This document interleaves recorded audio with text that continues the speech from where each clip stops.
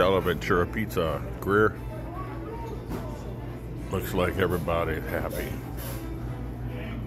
I made a comment about the cannoli and the girl jumped down my throat. Well, there's something wrong with the cannoli. That's all. Taste it. There's something in it. They're using imitation vanilla or something. It's a little tiny something that's wrong.